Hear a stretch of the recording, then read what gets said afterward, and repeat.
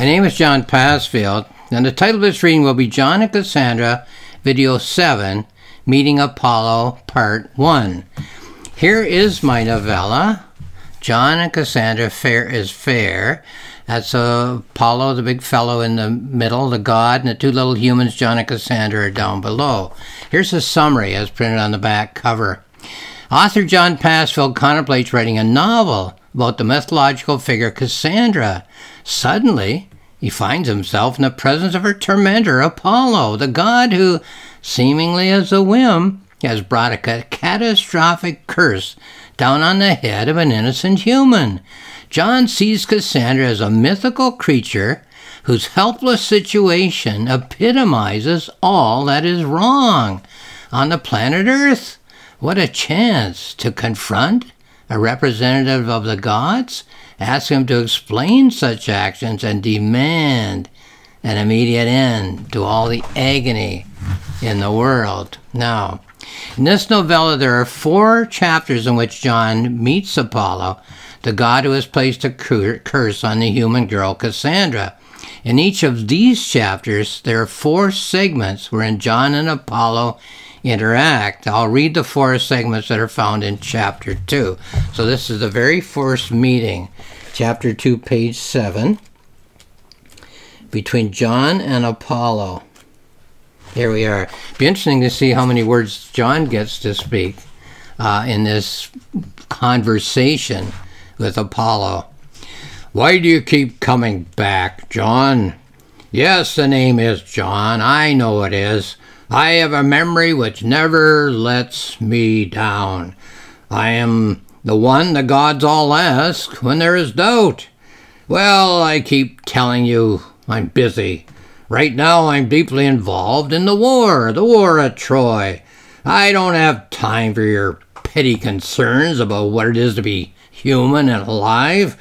You have your lot in life, and that is that. Your life will be your life until you die. You want to influence the gods, don't come whining here to me. Go back to your country and make a sacrifice. Pick the god whose sphere is the one of your concerns. So that's Apollo speaking to John. I don't hear John saying anything there. Let's go on to the second segment where Apollo and John interact. I do not want to talk about this topic, John. My relationship with mortal girls.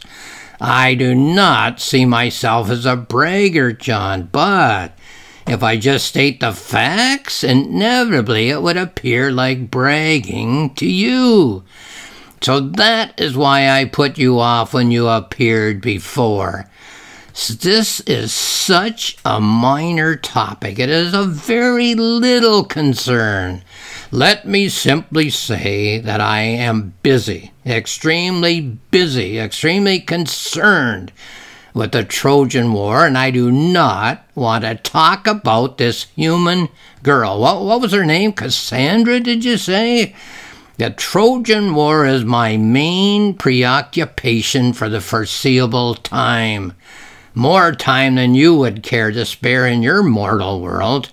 This girl, this girl Cassandra, is, is not a preoccupation for me at all. In fact, I'm surprised that you, a, a male, should demonstrate such misguided, distorted concerns. Okay, so that's Apollo again. John not getting a word in. Let's look at the third segment of the meeting between John and Apollo. You know, you don't seem to realize the implications of this, John, but the first time you came to see me and raised the question of that girl, I decided to end your visits once and for all. I put my sword right through your back as you turned around. And here you are, still standing, as much a pest as you were before. You have flesh, as I can see, but you don't seem to have a heart inside that lumpy bag of blood and cartilage and bone. You went on talking as if my sword was a figment of my mind. No human could have survived it. I have concluded that you are a god, a god in disguise. To what end? I cannot now conceive. I do not always get along with the other gods. Okay, John doesn't get a word in there. Let's have a look at the fourth interaction between John and the god Apollo. Listen, I don't understand very much of what you tell me, John. I don't know channels or communication satellites or watching the news. All I know is that you are telling me what it is to be human, to live on this earth and experience the catastrophes and the joys. Well, why should you be an exception, you and those people with whom you live in this Canadius or Canadia or, or whatever you call the country in which you dwell? You think your land has been blessed by all of the gods? The gods squabble, the gods disagree. One will send sunshine and one will send rain. Find a cave in which to hide when it thunders. Come back outside when the sunshine reappears. You humans complain when you break a fingernail. That's the way it is, John. Ours to grant pleasure, ours to inflict pain, yours to suffer or enjoy, yours to give thanks or to complain. Well, that's the fourth uh, segment of John and Apollo, and uh, John didn't get a word in edgewise.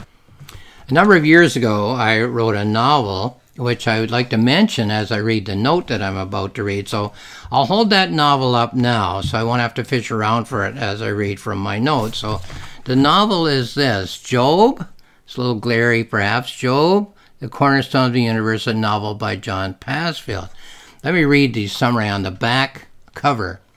Racked by fever, tormented by boils, devastated by the loss of his entire family, the wretched Job cries out to the heavens, Why has his God forsaken him? Why do such things happen here on earth? Why is the universe so flawed? Why are human beings subjected to such agonizing torments? He shakes his fist at the sky and demands a personal audience. His agony has given him the questions. He insists on hearing the answers from the mouth of God. So that's the novel which I wrote, and it's available on Amazon. But now back to speaking about uh, John and Cassandra. The situation of the story of Cassandra is as old as human storytelling. One of the oldest human stories is that of Job, as told in Hebrew scripture and in the Christian Bible. In fact, a few years ago, I wrote a novel about that very story, the one I just held up. The title of the novel is Job, the Cornerstone of the Universe. In the Job story and in my Cassandra story, a human being decides that the human situation on earth is not the best possible situation that humans can imagine.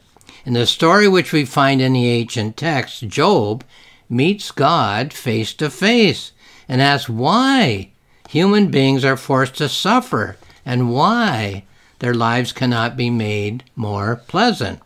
In the original Cassandra story, which has been told by many writers, Homer among them, what we have is that Cassandra is a human being on whom has been placed a double curse. The first curse, which the Apollo of this story claims he meant as a blessing, bestowed on the girl when he thought they were on better terms, is that she can see into the future. Well, that sounds very positive. However, the second curse, which Apollo says he placed on Cassandra when he realized they were not on good terms, is that no one will believe her when she tells them about the future. So, why does serious literature, stretching back to what might have been one of the first five or ten stories told around the campfire by the earliest human beings, or even by the earliest Neanderthals, have situations that recur in essential form over the centuries? Well, I believe it's because only one of the aims of serious literature is to tell a story. The other aim of serious literature is to create imagery which illustrates what life has been like, is like, and always will be like for the human being as we interact with our fellow creatures and with the nature of life here on the planet Earth. None of these stories, in asking why humans suffer, is able to give an answer, as I don't believe human beings know why the know the answer as to why life can be so difficult here on Earth. All of these stories do is express the dismay, the frustration, and even the anger that human beings feel when life is not, is a lot more difficult for us than we feel it should be or could be. If whatever powers that put us in this situation were to change their minds about hu- what human life should be like. Of course, in some variations, on what I would call the surface story, the plight of the individual in that particular telling of the story is made a little less onerous in the story that is found in Hebrew scripture and in the Christian Bible, Job gets a second family and a second flock of animals, which makes some people feel that the story has a happy ending. When I read that story, when I read that story, sorry, I always feel that as nice as it is for the individual who's depicted in that version of a story to get a happy ending, the main point of the story that all the variations on the Job story make is that life always has been difficult here on earth. It's difficult now, and always will be difficult no matter the ending of any individual version of that story. In this story, the story of Cassandra, I didn't add a dash of happy ending for Cassandra. I simply went along with what all of the versions of the Cassandra story present to us that the higher powers have no interest in making life easier for human beings. And that's the end of the note. So here again is my novella, John and Cassandra, Fair is Fair. It's found on Amazon where you'll find more information. My publisher's website is rocksmillspress.com. There's more information there. My website is johnpassfield.ca. It's all one word, and there are two free books there, two books you can access for free. My planning notebook, in which I plan and write the novella, and my journal, my reflective journal, in which I reflect on topics that the uh, story raises. So have a look there at johnpassfield.ca if you're interested. Lastly, I'll just say thank you for watching this video.